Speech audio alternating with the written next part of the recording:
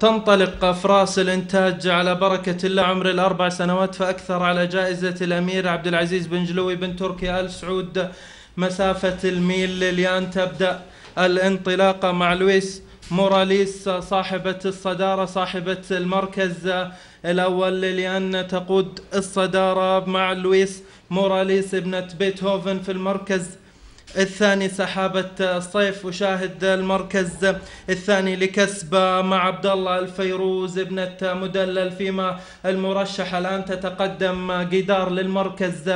الثالث آيات أحد الأفراس المرشحة كذلك هي في المركز الرابع قدار للمركز.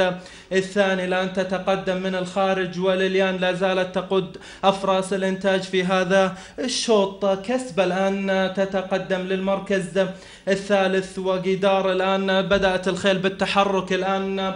الخيالة يعطون الخيل أوامر الانطلاق الآن. قدار ابنة علم مع محمد الدهام تقود صدارة الأفراس في هذا الشوط. لليان في المركز الآن الأول تتقدم. قيدار في المركز الثاني تلاحق من الخارج. الآن نشاهد محاولات من صلفة بداية الخط المستقيم بداية الانطلاقة للأفراس. قيدار بن علم تتقدم من الخارج لأبناء الملك عبد الله بن عبد العزيز.